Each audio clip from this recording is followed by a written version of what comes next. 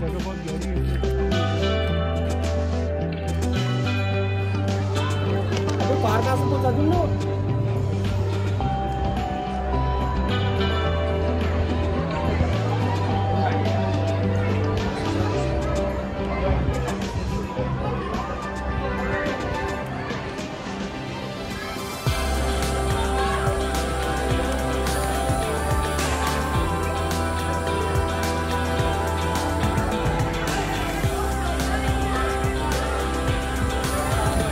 खाने फूल में गिराना इधर उधर